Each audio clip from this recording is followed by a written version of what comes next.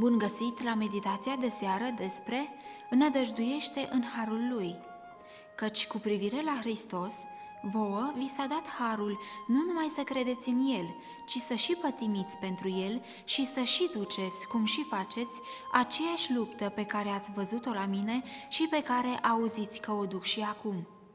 Dacă încerci să-ți porți singur poverile, vei fi zdrobit sub ele. Ai răspundere grele. Iisus le cunoaște și nu te va părăsi dacă tu nu-l părăsești. El este onorat când îi încredințezi lui paza sufletului tău, ca unui creator credincios.